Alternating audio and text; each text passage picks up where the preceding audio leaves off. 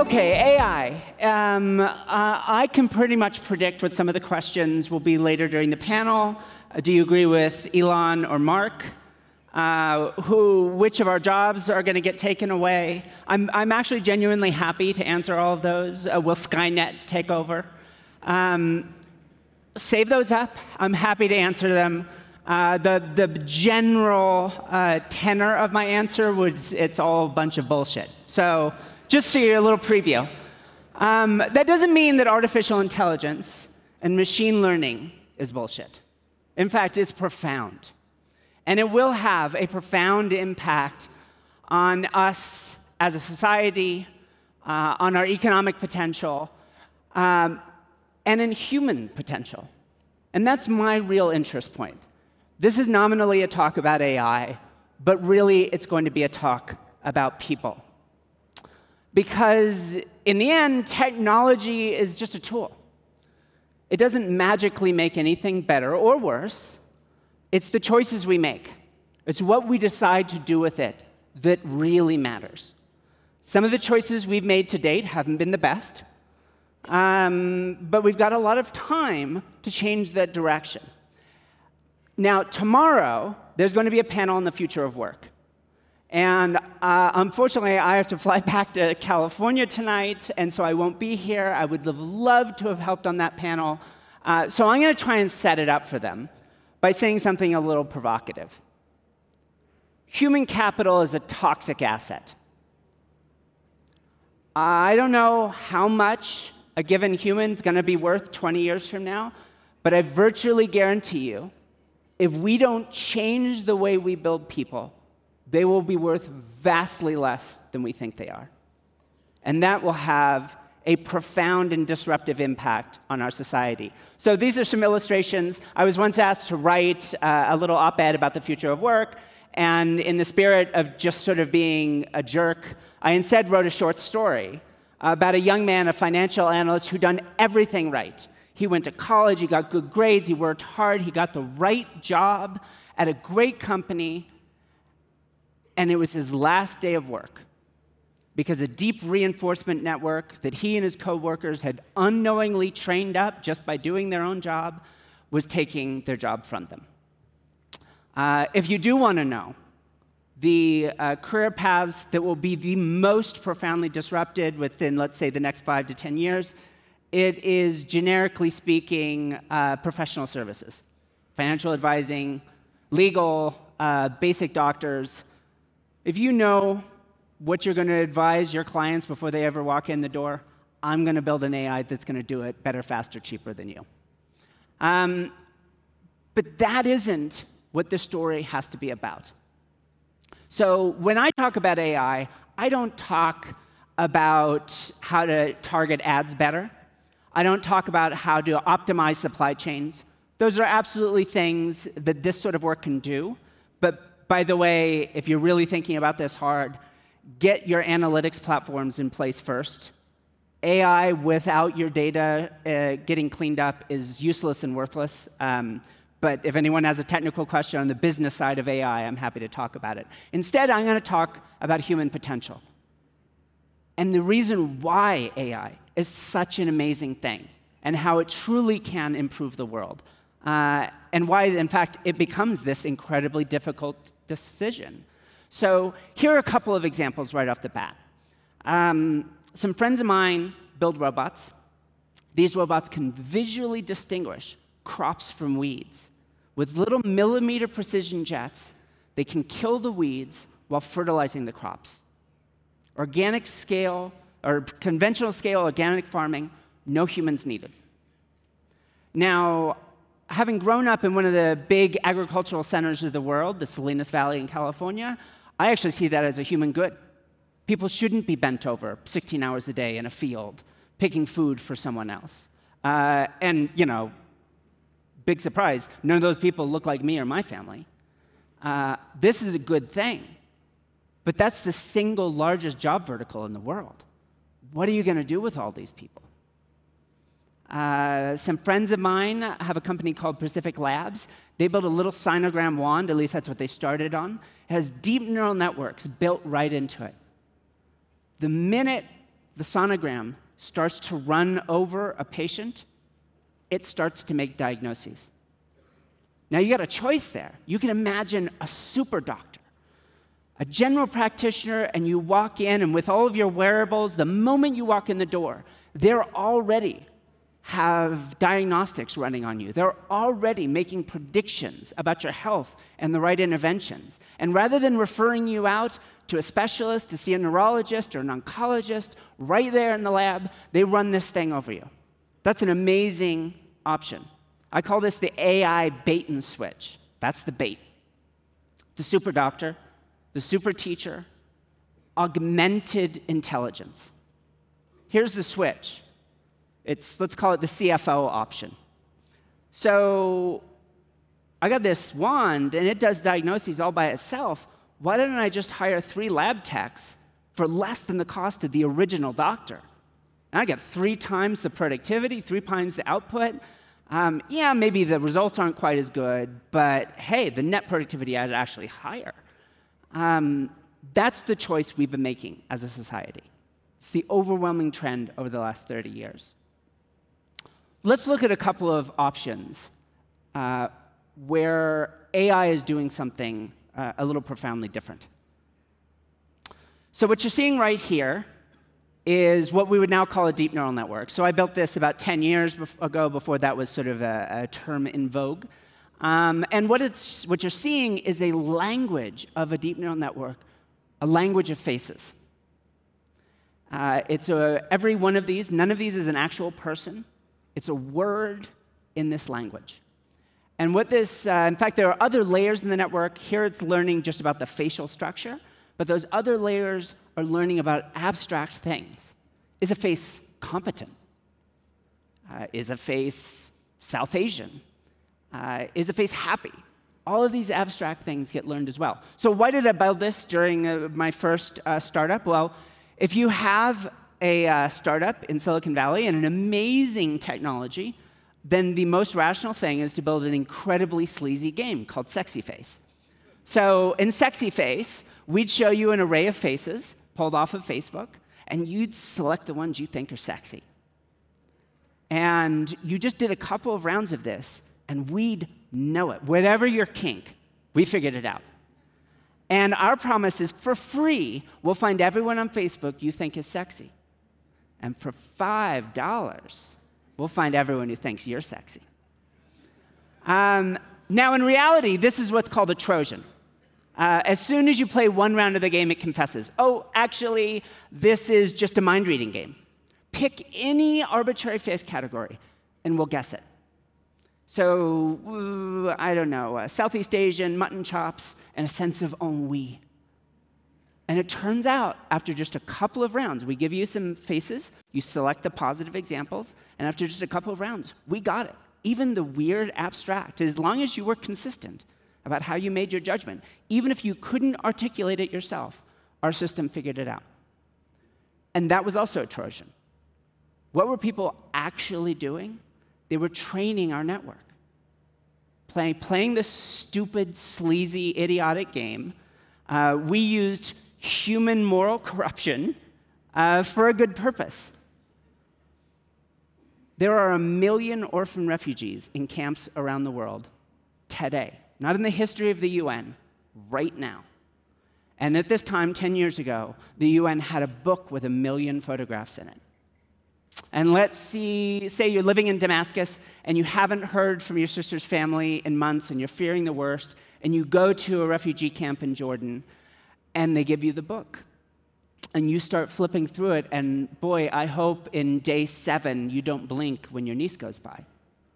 So we built this thing, and you reusing the deep neural network that was trained to recognize and understand faces um, with slight modification, people looked at a random set of faces of kids taken out of the book, and they selected the one that looked more like their niece. And within three minutes, if they were in a camp anywhere in the world, you found them.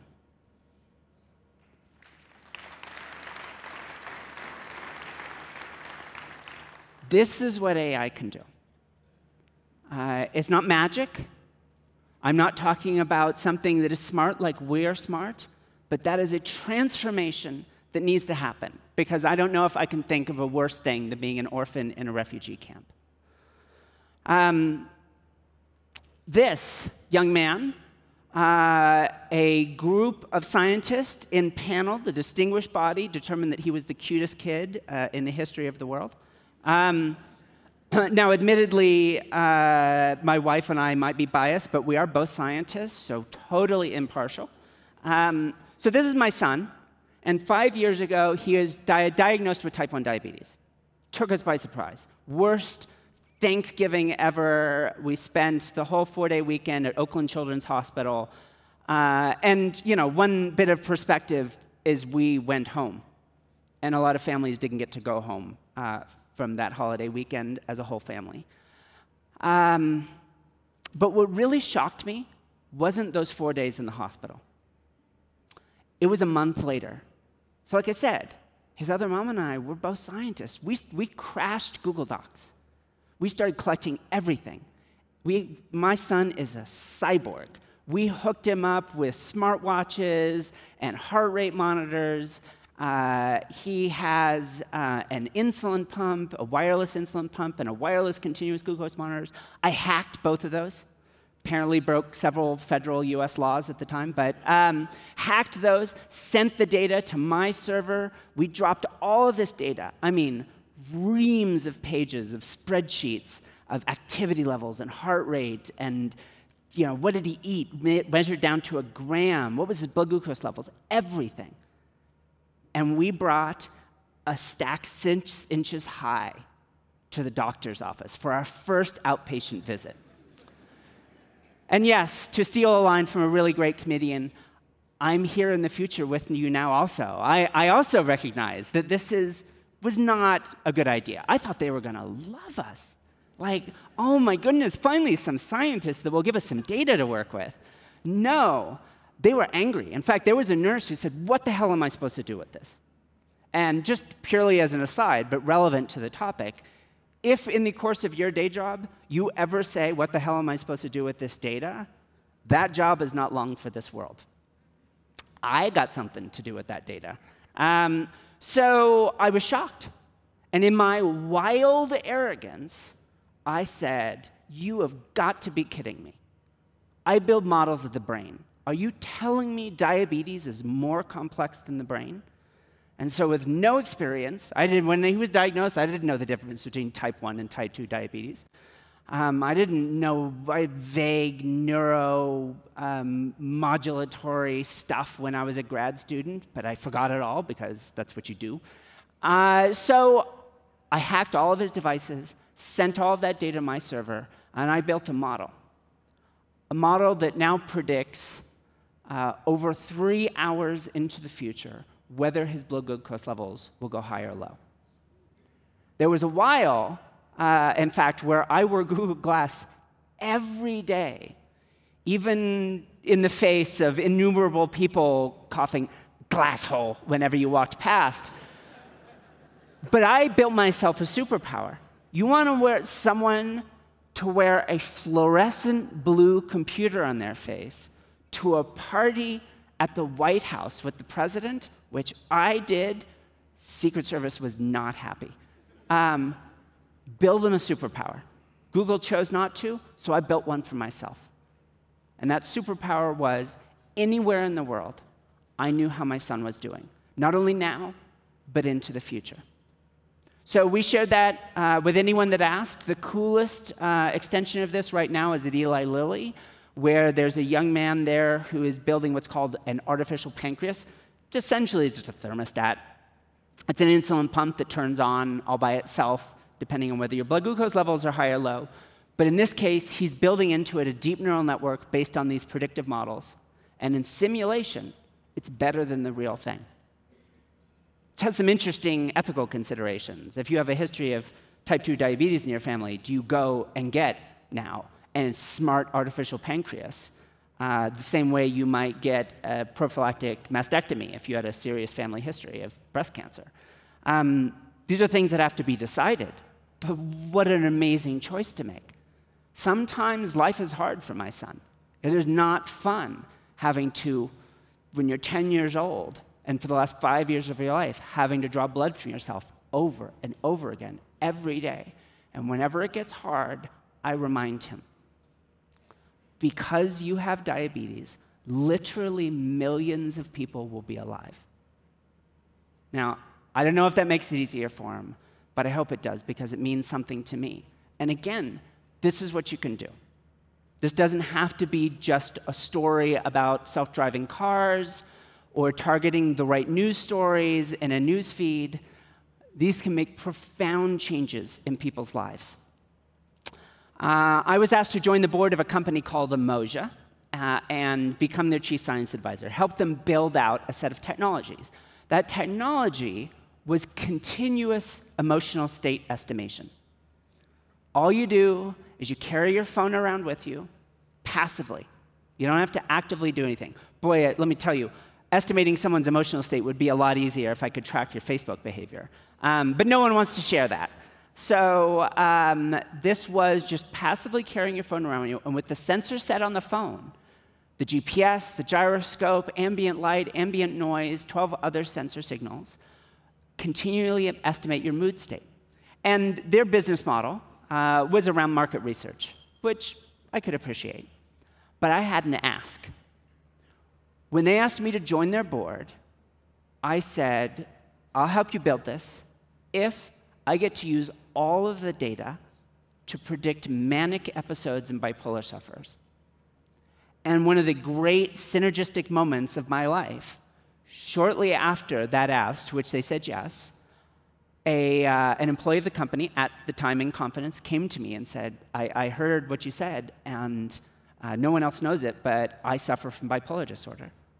So if you're not familiar with bipolar, if you've ever seen the, the television show Homeland, um, uh, this is what the main character suffered from. You go ricocheting back and forth between these wild, creative, manic episodes and then crashing depressions. 25% of severe sufferers go on to kill themselves. It is an endless cycle of divorce and job loss uh, and again, for severe sufferers, institutionalization. Costs $70 billion a year in lost productivity, the most costliest mental health disorder. Um, but I have this intuition that if I could track you over time, that we could do better than that.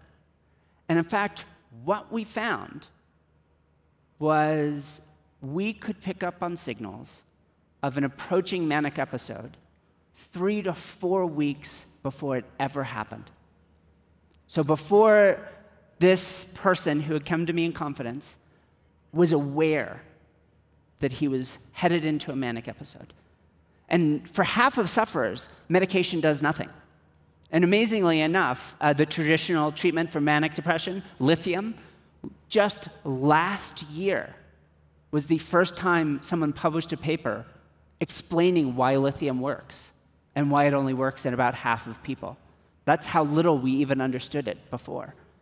So now what you're seeing here is a heat map. It's one of the signals we look into. Turns out the way people move through space, move broadly to the city of Johannesburg, uh, move through their office in their home, actually move ballistically in their local space, those turn out to be profound signals. So a month ahead of time, what if we could send a message, not just to the sufferer, but to a trusted confidant, their best friend, their sister, their doctor that they believe in? High probability of a manic episode in the next month. And you could take steps to decrease the stressors in your life. Maybe schedule a week off from work. Uh, whatever you need to do to manage that and not get divorced, not lose your job, God forbid, don't kill yourself. And in fact, uh, we have good reason from our research to believe that the same thing works for major depression, uh, which has a similar suicide rate. Uh, it is an amazingly powerful thing to be able to take this kind of data and through the use of machine learning and artificial intelligence, be able to save a life. There's a group at Facebook, uh, former Facebook employees, that claim that with a simple photograph of your face, they can predict something on the order of hundreds of different congenital disorders uh, based on uh, the structure of the face. Now, this has yet to be demonstrated, but I've done a lot of work in face modeling, and I can actually believe that there's real traction there. What does it mean when every phone can do the diagnostic work of a specialist? That has some pretty big implications, but let's stick with the most important one, which is people will still be alive and productive in society.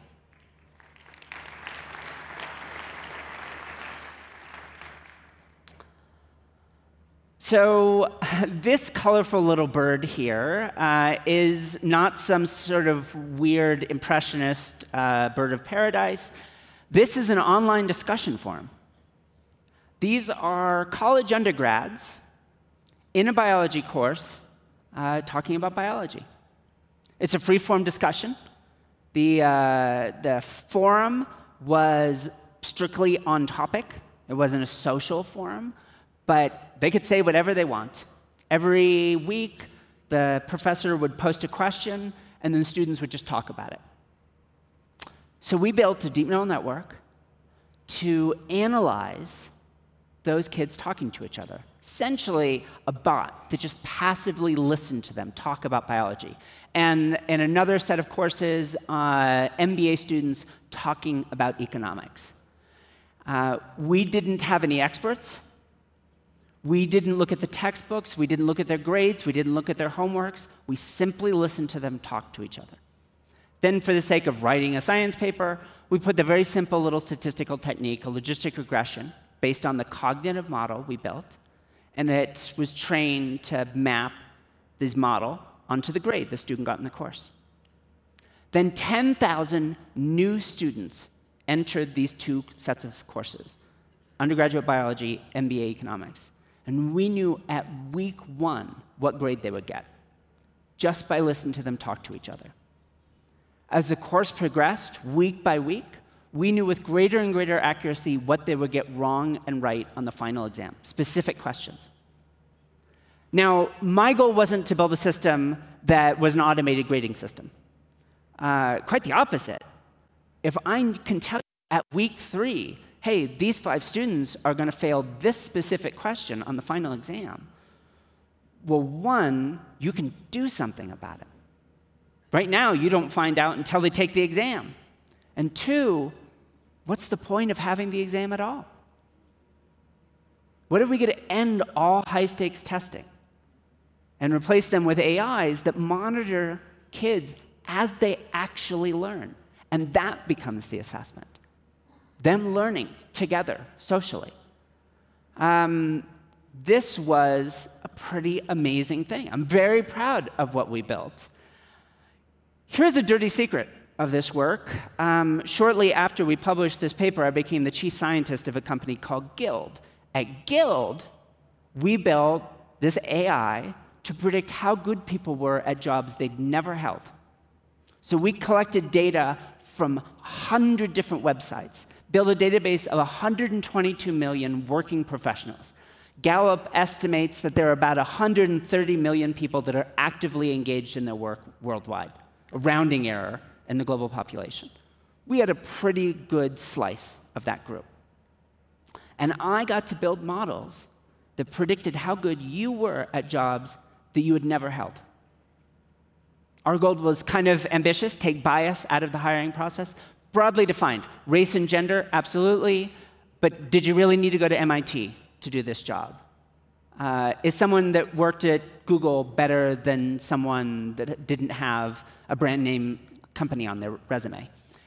So, what we found was what wasn't predictive of long term outcomes grades, test scores, the university you went to, at least once I knew other things about you even the skill sets. Think about this tomorrow when they talk about the future of work. We define our hiring and our education system on skills. There is no skill which is robot proof. Period. Nothing. No skill or knowledge. Someone like me can build a tool to do it better, faster, and cheaper. Um, why do we persist in building humans to do the same thing that machines can do better? When there is a fundamental truth, which is much more exciting, which is we actually know not just what people can be to be Rua proof. And actually, in one of our earlier speakers, you saw a list, these social and cognitive qualities that we know are predictive of life outcomes.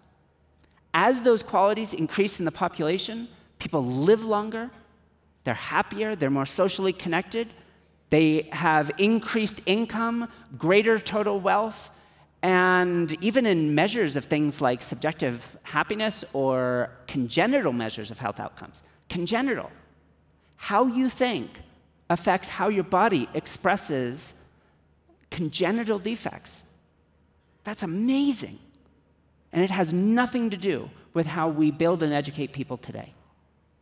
That is profoundly disappointing, but it doesn't need to be. So we built this thing and it predicted grades, and grades don't predict shit okay, what if we can take a similarly amazing AI, let's say it's going to analyze the speech patterns of young kids, and another AI which can analyze the artwork. Oh, my daughter, she draws so many pictures that I think there are whole forests in Brazil that don't exist anymore just because of her mania for drawing. It all goes right into the compost. Um, what if you just take a picture of it? And a deep neural network analyzes that, analyzes those speech patterns, maybe asks questions of parents, and from that, make the most insane prediction you can imagine. How long will this child live? How happy will they be? How far will they go in their education? And how much of an impact will they have on the world? So it turns out the worst thing you could do is actually make such a prediction and then tell their parents. It's a cursed crystal ball. It only makes things worse. We know this actually. Measuring people and treating them as fixed quantities, just profiling them, doesn't make the world a better place. But we built AIs to do exactly that. And uh, in a project we call Muse, what it does instead of telling their parents, hey, your kid's gonna win a Nobel Prize and yours is gonna flunk out, every single night, purely via SMS, it sends them a simple 20 minute activity, a game to play with their kids, a game specifically designed for that child to maximize their life outcomes. Again, this is what AI can do. This is how AI can make better people.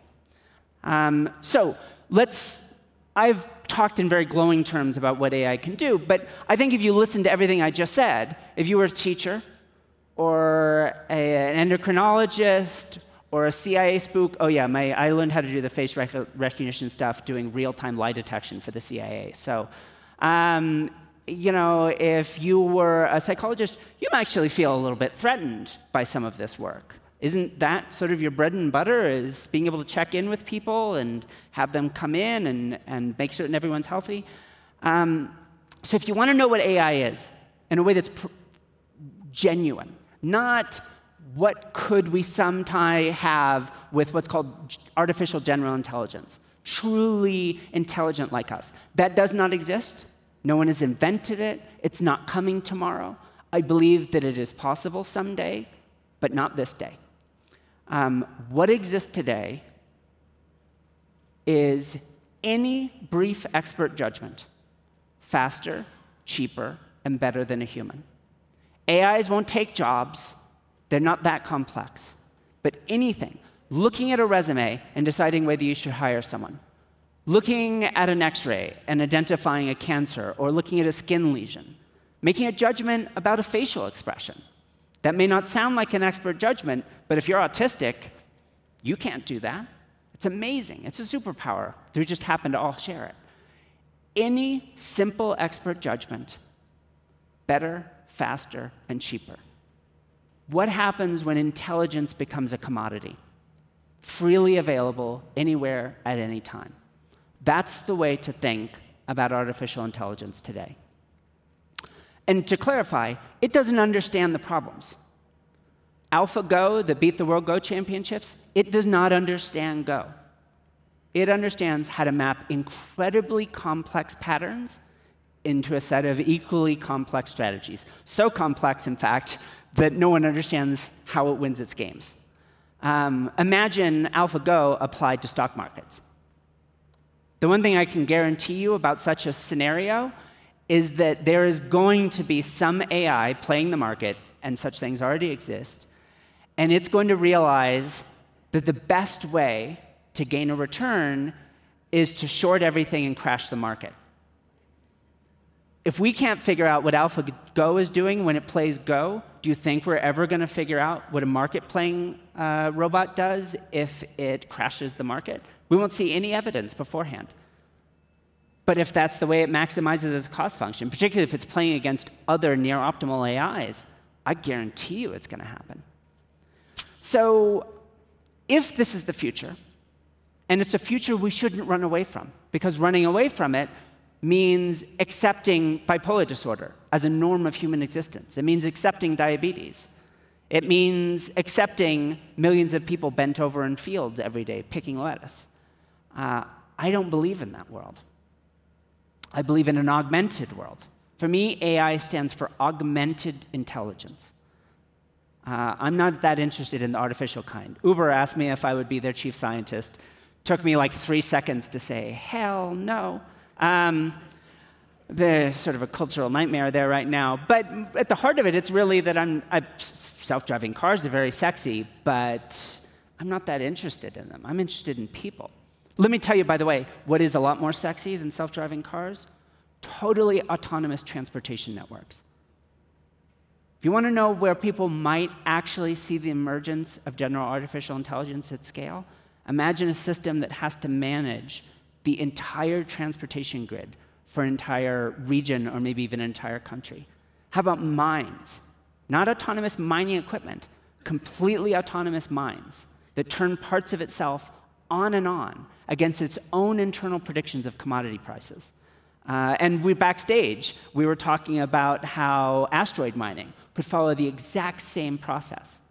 Uh, we're going to learn about robots here in a moment, but one of the most exciting areas in AI is IoT. Not because IoT, the Internet of Things sucks, it's boring. Sorry if anyone's here is deeply invested in it. What's exciting to me is the next generation, where instead of a passive platform of data collecting objects, I have a single swarm robot controlled by one AI. And by single swarm, I don't mean this building. I mean the entire network. And it is actively and probing the world. Imagine the swarm, every one of your smartphones, the smart lighting systems, the cameras, the video, audio, everything is smart and communicating with one another and essentially testing hypotheses, constantly exploring the world. This is the system we built to improve kids' life outcomes. Imagine one single AI controlling that at scale to understand all of us in profound and deep ways. That's where smart devices start to get exciting. Um, I'm working in a couple of other areas, though, that come back to people. So I'm not going to have time to explain these, but just to touch on them, you see the big network on one side. This is, I'm at a weird place in my life where I get to be a professional mad scientist. Uh, I've done a lot of startups now, and I'm a little tired with it. So now companies come to me and they say, hey, what do you want to do with our company? And I get to do crazy stuff. Uh, so one is a potential project with Accenture to look at what we call employee lifetime value, where I take data from across the entire company and treat it like a deep neural network. What does that mean? Well, deep neural network is made up of millions, maybe hundreds of millions of parameters, but it gives one output. Like the Go system has to decide whether or not to make a certain move versus another move. So, how do I do what's called the credit assignment problem and assign back to those millions of units in the network the credit for that one single output of the deep neural. It turns out it's incredibly hard, but the math exists. So we're tackling that now in the space of human capital. How do I know your value to the company? Well, it turns out if I can build these amazing social graphs of all of you and then track how information flows to that graph and using the mathematics of deep neural networks and what's called value added modeling, we can actually track how you have uniquely contributed to the output of a massive multinational company without ever directly measuring you at all. I don't care whether you score any points. I don't care whether you block any shots. I care if we win when you're in the game. Right now, we do nothing like that in the way we structure our schools or our companies. This is a total transformation. Next to that, with the brains, I have another company where we're doing applied neuroscience real time on teams performing in the wild. What is the point of this? Is to create feedback loops to optimize everything about a team. We know from research diverse teams are optimal for creative problem solving. But hey, diverse teams are low on trust, low on communication. In the short term, they are not very productive. And nobody wants to pay the cost of how you get a diverse team. And by diverse, I mean cognitively diverse, creatively diverse. A lot of the traditional definitions of diverse are decent proxies for this, but how do I get a team of people that have never met before to be a high product team overnight? So it turns out one of our co founders uh, actually led the DARPA project that did real time neurofeedback training of snipers.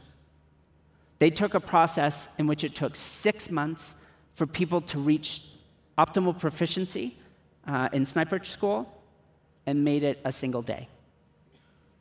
Single day, someone is as good a sniper as they will ever be. So, bit of an experiment. Can we do the same thing with a whole high performance team? And within, let's say, a single week, make them as though they're all veterans and they know and trust each other. They speak the same language, maybe even literally. Uh, if they didn't get that right up front. Uh, next to that, with the faces, uh, is tremendously difficult to explain. So let me just say, running an experiment with Salesforce, where we are mapping in real time people's bias create a giant AI. It tracks every decision you make. And so then we send out messages that say, oh, manager X, you are an awful bigoted person and you're fired. No, that's not what we do. Instead, what we send them is uh, hey, manager, we're noticing that you have these inefficiencies on your team. Here are things you can do. And the goal is to deliver them in real time. So the moment you walk in to a team meeting and we're picking up, and here's a perfect example of a bias which has nothing to do with traditional biases. You have a left side bias, and so you tend to focus on one side of the room. That's a very common bias, but it's one that actually reduces the productivities of teams because socially sophisticated people pick up on it and start sitting on your left side. And you start calling on them more and giving them more tasks, even though they're not any more qualified. Uh, I hope no one here is shocked to hear that we do the same thing with men and women, we do the same thing with blacks and whites. Can we deliver interventions in real time, just when someone needs feedback about how their behavior could actually make their team perform better rather than worse? Everyone has the ambition of being a better person. It's the actions that are hard to come by. Uh, and the last here, and I don't have time to go into it, is uh, another company of mine, ShiftGig, based in Chicago. It's an on demand workforce. Uh, they asked me to be their chief science advisor, and um, we're building an AI marketplace. But the goal isn't to match workers with shifts and dead end jobs that will never get them anywhere. It is to match workers with the sequence of shifts, which will lift them up the economic ladder inside our company those work experiences are specifically targeted at that individual. They get paid a wage. Uh, our company gets paid, our clients get their services rendered, and eventually, after a few years, people move up and out of our system and get long term jobs. It's not a charity, it's a for profit company. This was my ask to make this work. But it turns out it's great for ShiftGig because we get better margins as people move up our value chain. They move from servers uh, to working in factories, to working in call centers, and then it's a long term placement. Uh, this is what AI can do to actually intervene and build better people. So, this is my challenge to you to end on. Um, do you feel better after you've spent an hour on Facebook? Do you feel like your phone, not when you're using it, but after you've set it down, that it's made you a better person? This is my challenge to myself. For me, it's a hard rule. Technology must always challenge us. We cannot outsource who we are to a phone or an AI or robot. The simple rule is when you turn it off, you have to be a better person than when you had it on in the first place. And if it's not achieving that, we are robbing from our own future. This is my goal for AI. How do we make certain AI only makes us better? Always make certain it's challenging us. In the long run, the goal of all of these systems, the goal of the education, of the health, of restructuring the way we run our co- companies, should be explicitly about making better people. That's what augmented intelligence can be. Thank you very much.